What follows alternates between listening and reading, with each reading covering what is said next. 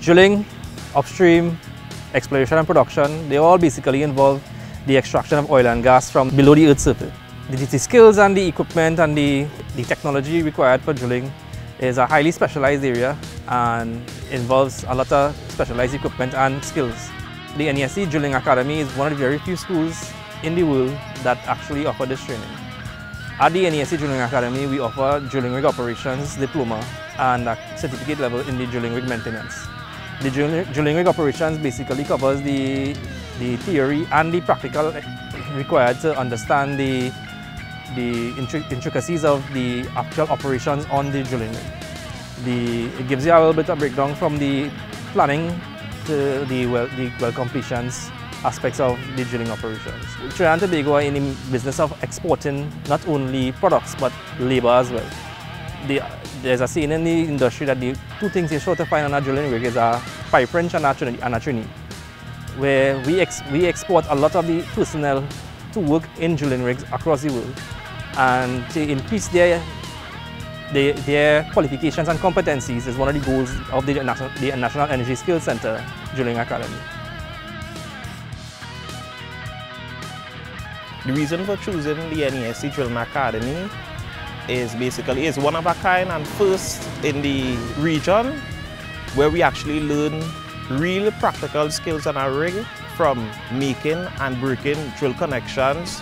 We learn pipe tallies, trip sheets, mud pumps, and the circulation system. Even work on the derrick, on the as a derrick man on the monkey board and a few driller controls on the on the consoles of the driller.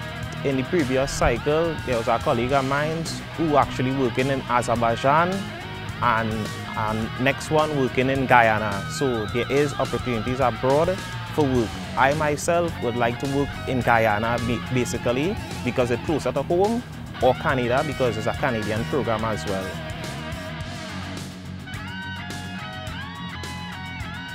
The oil and gas industry is a very unforgiving one, um, meaning that you can't afford to make mistakes. Our students, they are trained not just to understand theory or to sit in a classroom, but they are trained to go out there in the workplace and not make mistakes, to put their best foot forward.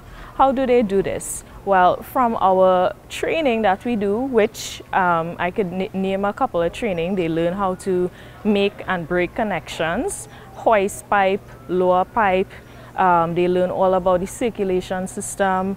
Um, they do a bit of Kelly drilling, you name it. So they are well equipped to work in the industry. Now this curriculum it's not just for males. I know um, people tend to think that it's a male-dominated industry. It's not. We have female students as well, and they excel just as well as the male students.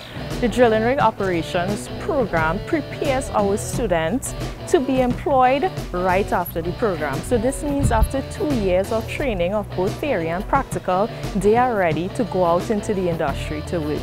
Why? They have seen a rig, they have worked on a rig, and they have worked with a number of different personnels from both their project work and their theory, which they would have had to research. So it's a very lucrative business, the oil and gas industry. It, it's high risk, but it pays well.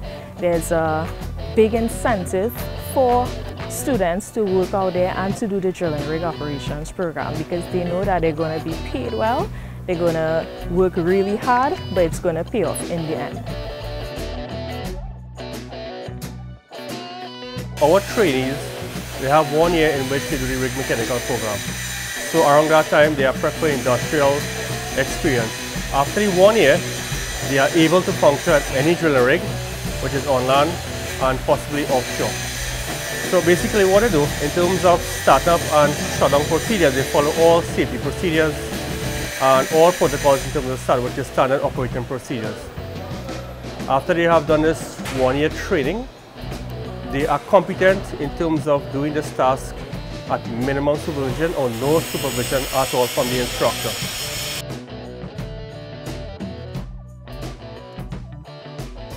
We would generally look to NESC drilling school um, to fulfill positions on the roustabout level.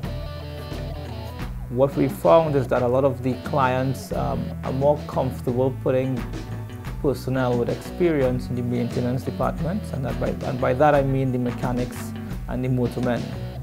However, just due to natural attrition or promotions during the lifetime of a, of, um, of a project, you would find that roustabouts sometimes have opportunities to become motormen, or sometimes motormen um, get opportunities to become mechanics.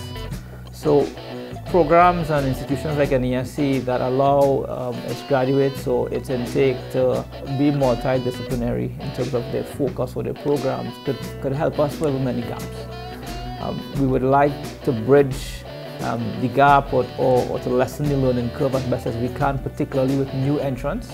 Um, while experience is always something that is looked um, favorably by recruiters or, or, or, by headhunters or even um, organizations, you have to breathe life. You have to introduce new people into the business. Um, and therefore we look at schools that give a, a solid technical foundation such as the NESC Drilling School um, to help us put candidates that we think would be sustainable um, in, the, in the medium to long term, as well as candidates that have some bit of understanding as to the demands of the environment. What I learned at NESC and I went into Halliburton, it was very, I would say 85% of what I learned from NESC is what I am doing at Halliburton. The next 15% is just experience I need on rig and learning the different equipment we have and I would recommend this course for anyone worldwide to get into the field of drilling because one, you have both theory and practical exams. You get an experience on rig and you get an experience on a working rig.